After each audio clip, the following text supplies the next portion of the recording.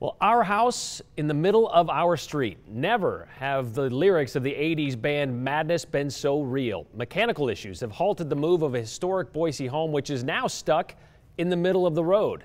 The 304 ton Bishop Foote guest house, which was moved off its original lot near St. Luke's last night, currently stopped on Jefferson Street behind St. Luke's in Boise. However, Jefferson Street will be open both ends to local traffic. The intersection will be reopened tonight along with Avenue B, but that home is expected to stay there until they can get those mechanical issues fixed, which could take several days.